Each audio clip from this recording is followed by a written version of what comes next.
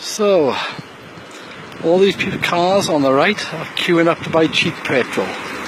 Going from right up the top there, the petrol station starts, and all these cars. So on the number shields, there's like 32, there's 33, there's 34, there's 35, 36, and all the way back down to the end. And there's cars here with numbers like 70 and 80.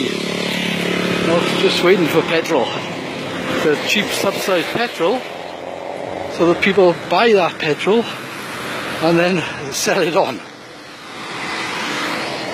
Wonderful Venezuela.